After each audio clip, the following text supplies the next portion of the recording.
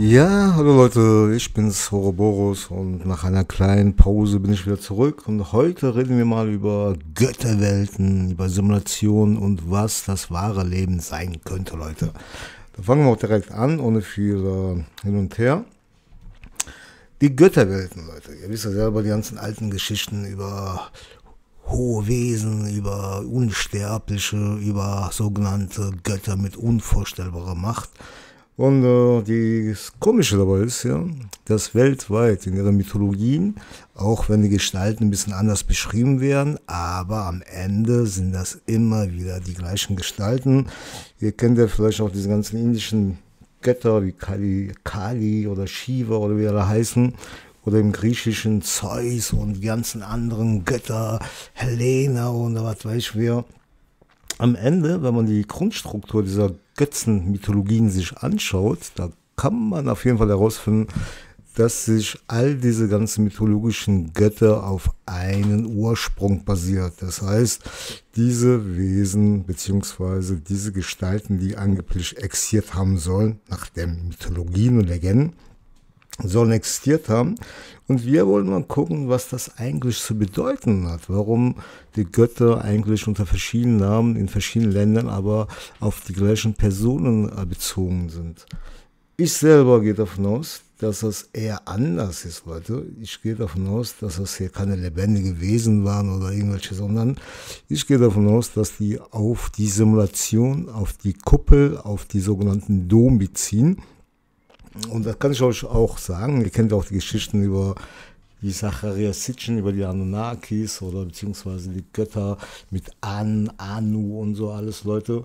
Und ich kann davon jedenfalls euch Bescheid sagen, beziehungsweise euch andeuten, dass die Geschichten, zum Beispiel An oder Anu, bezieht sich ja sozusagen auf den Himmelsgewölbe. Also nicht hier irgendwie so ein Gestalt vom äh, außerhalb des ja, Doms, aus, außerhalb dieser Welt, sage ich mal. Und alle Geschichten, alle Götzen, die unter verschiedenen Namen hier bekannt sind, sind auf bestimmte Elemente, die um uns herum sind, eigentlich den Namen her. Das heißt übersetzt, zum Beispiel Anu, der Himmelsgold, war nichts anderes als der Himmelsgewölbe, Leute. Es ist die Himmelsgewölbe, das heißt der Dom, unter dem wir existieren. Und ihr kennt ja ganzen Mythologien von den alten Kulturen, die ja selber sagen, dass wir, das heißt wir Menschen, Ausführungszeichen, unter einer Art Kuppelanlage existieren und dass wir überhaupt hier nicht rauskommen können, weil Gott uns ja gefangen hält. Und dieser Gott ist nichts anderes als die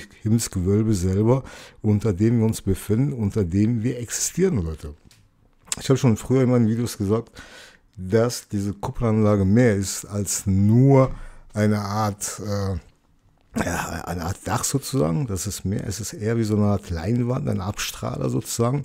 Das heißt, die Computeranlage, das uns belebt, Leute, in dem wir uns sind, die strahlt sozusagen diesen Bildschirm und aus, von diesem Bildschirm wird ja auf diese flache Ebene abgestrahlt wie so eine Art Hologramm, in dem wir existieren, Leute. Es ist hier nichts anderes als eine riesige Holodeck, auf dem wir uns befinden, Leute. Ihr kennt ja zum Beispiel äh, die ganzen Bilder von dem Vatikan in verschiedenen Kirchen. Zum Beispiel wird auch der Himmelsgewölbe äh, angedeutet mit verschiedenen, äh, ja, wie soll man sagen, mit verschiedenen Engel oder Götzen oder besser gesagt hier äh, irgendwelche Leute, die irgendwie hingeschafft haben, in den Himmelsreich zu kommen. Das ist ja nicht so, dass die jetzt hier außerhalb des Doms sind, sondern die sind gespeichert in einer höheren Simulationsebene. Und darum geht es hier, Leute. Das heißt, die Menschen, die hier gefangen sind und auch hier ihr Leben durchspielen müssen, es können ja nichts dafür, Leute. Ich sag mal so, wenn man die ganzen Geschichten in der Bibel liest oder beziehungsweise die ganzen Andeutungen, heißt es ja nichts anderes. Selbst in der Bibel steht, alles, das ganze Leben, was wir hier führen, ist eigentlich sinnlos. Die Sinnlosigkeit des Lebens. Es ist ein Kreislauf. Ihr müsst euch einfach mal ein bisschen mit diesen Religionen beschäftigen, beziehungsweise auch Mythologien, Legenden, die nichts anderes sagen, dass diese Sinnlosigkeit des Lebens, das hier abgespielt wird, wir, was wir denken, was wir jeden Tag machen, dass wir jeden Tag aufstehen, zur Arbeit fahren, Familie gründen oder was weiß ich was. Es ist schon mal abgelaufen, aber das existiert nicht mehr. Wir sind nur Kopien einer längst vergangenen, toten Welt Und diejenigen, die den Speicherpunkte hier uns gespeichert haben, die lassen das hier einfach immer wieder ablaufen unter diesen sogenannten Kuppelbauten. Und diese Kuppelbauten sind sozusagen die Götter, unter denen wir leben. Das heißt, wir beten sozusagen etwas an, das gar nicht existiert, sondern es gibt auch unter uns Wesen, die das ganz Geheimnis kennen, die sich Elite nennen. Und diese Elite versucht jedes Mal ihre ja, Spielereien, sage ich mal, das sind ja nichts anderes als Spielereien, Leute. Die, machen aus Langeweile Dinge, die für den normalen, simulierten Menschen sozusagen nicht einfach ist, indem die noch mehr Kriege provozieren oder indem die ihren Spaß mit uns hier treiben. Das heißt, sie und ihre Lakaien, die bezahlten, sage ich mal, die machen einfach hier nichts anderes als Spielereien. Und mich würde es nicht mal wundern, wenn jetzt hier außerhalb des Systems noch andere Wesen existieren, die sich hier einhaken in das System, in diesem Holodeck leben und hier herumwandern wie so eine Art Hollywood-Studio oder irgendwie so Movie Vault oder wie das heißt. Das heißt, hier läuft eine Sache ab, die nicht schön ist, sag ich mal, muss man nicht sagen. Ne? Man muss sich das mal vorstellen, diese ganzen Götter, die existieren, die beziehen sich auf bestimmte Strukturen, die aus dem wir bestehen, aus dem diese Welt besteht. Und diese Welt ist nichts anderes, Leute, als eine Art geschlossenes System, unter dem Kuppel wir simuliert werden und diese Computeranlage, die irgendwo hier existiert, in dem sind wir sozusagen gespeichert. Es ist die sogenannte Akasha-Chronik und das ist nichts anderes als eine Art Festplatte. Und diese Festplatte, in der wir gespeichert sind, läuft immer wieder ab. Deswegen auch immer wieder, wo ich euch sage, ja, Zeitschleife, Matrix, alles drum dran, Leute. Und auch wenn es sich, äh, wenn es nicht so leicht sich anhört, aber in Wirklichkeit ist das leider so. Ihr kennt auch die ganzen Geschichten über Saturn, über den schwarzen Kubus, über den schwarzen Würfel sozusagen. Ihr müsst euch immer mal vorstellen, ne? Äh, Saturn bedeutet am Ende nichts anderes als die Zeit. Die Zeit, das immer wieder abläuft. Zum Beispiel der Vorgänger von Saturn, Kronos, war ja nichts anderes als ein menschenfressendes, ein kinderfressendes äh, Individuum, das sich äh, das aus Menschen sich ernährt hat und sie wieder am Ende raus, ja, wie soll man sagen, äh, rausgespuckt hat, kann man was sagen. Es ist ja symbolisch gesagt, der Mensch wird geboren, der Mensch stirbt, es ist wie so eine Art ewige Zeitschleife, in der wir uns befinden. Deswegen noch meine ganzen anderen alten Videos, wo ich euch detaillierter erklärt habe, wie das alles funktioniert. Aber man soll auch nicht die Hoffnung aufgeben. Wie gesagt, auch wenn wir nur simulierte, vorbestimmte Programme sein sollten, aus Zeichen, mit einem bestimmten Energiequanten, die uns am Leben hält, für bestimmte Perioden, haben wir die Möglichkeit durch Erkenntnis und Wissen, Wissen, Erkenntnis sind nichts anderes als Informationsfelder, die in uns zu etwas anderes machen. Das heißt, ist klar, äh, wenn man ein Programm sein sollte. Stellt euch mal ganz einfach vor, ihr seid ein Programm und äh, ihr bekommt einen höheren Update, sage ich mal einfach. Und dieses Update macht euch viel besser, interessanter, intelligenter und wenn ihr das habt, Leute, habt ihr die Möglichkeit, diese alte Simulationskuppel sozusagen zu verlassen und in andere Simulationen reinzuschlittern, aber mit voller Bewusstsein. Das heißt, ihr werdet nicht direkt gelöscht, sondern ihr werdet zu einer Art Übermenschen, sage ich einfach mal. Ne? Das ist äh, eine Übersimulationswesen, eher gesagt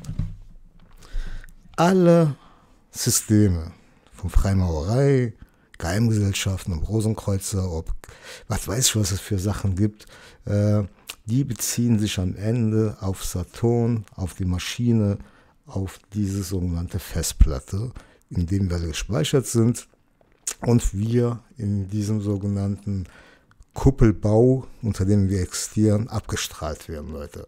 Schaut euch doch mal äh, die Welt weite, alte Strukturen an, wie die damals äh, ja, ihre religiösen, nicht nur religiös, sondern auch wichtigen Objekte erbaut haben. Und zwar mit so einer Art Kuppelanlage, Leute.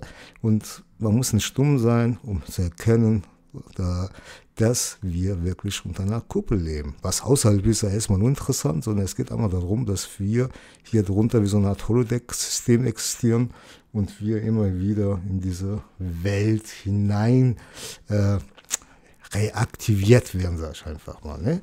Wir bestehen aus Daten, das heißt aus einzelnen Nullen, das heißt unser Speicher, unser Daseins, was wir mal erlebt haben, läuft immer wieder ab, wie ich schon mal gesagt habe. Aber die Möglichkeit, hier wieder rauszukommen, Erkenntnis zu bekommen, zu was zum Besseres werden, so eine Art Update, dass man äh, zu einem höheren Bewusstseinsebene hochsteigt und so eine Art Überprogramm wird, Leute, wo man und diese Wesen, die es geschafft haben, diese Ebene zu verlassen, die nennt man auch Engel. Diese Engel sind nichts anderes als sogenannte Übermenschen, Leute. Übermensch, das heißt, sich überwunden von seinem eigenen Programm, hat sich sozusagen abgedatet zu einer höheren Daseinsform. Und darum geht es am Ende, Leute. Ne?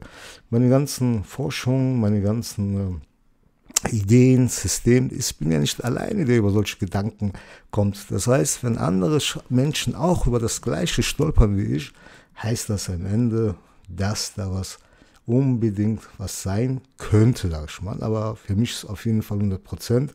Diese Götter sind nichts anderes, Leute, als hochgestiegene Wesenheiten. Das heißt, wenn man jetzt hier über Götter, über Anu, über sowas reden, über Vishnu oder über Shiva, das sind natürlich äh, äh, technische Ebenheiten, die beschrieben werden, die natürlich von irgendjemandem gesteuert wird, aber da sind dieses sogenannte Überwesen, also auch Architekten der Welten, sagt man denen bei der Freimaurerei. Aber am Ende geht es ja darum, dass die Götzenbilder, die uns vermittelt wurden, nichts anderes sind als technische Dinge. Zum Beispiel Anu ist der Himmelsgewölbe, Shiva und äh, Kali sind sozusagen die Energien beziehungsweise die Zeitschleife selber, die wiederum mit Saturn verbunden sind, beziehungsweise Saturn wiederum eine europäische Name für diesen indischen Kali Shiva System äh, bedeutet. Und äh, am Ende ist, wird hier nichts anderes beschrieben als eine technische Version, in der wir uns befinden. Leute. Mehr ist das nicht. Stellt euch einen Computer vor, stellt euch vor, vor euch eine Art Kuppelsystem vor und dieses PC äh, tut innerhalb dieses äh, Kuppelanlage sozusagen Holographe, Hologramm herstellen und diese Programme, die da ablaufen, sind wir.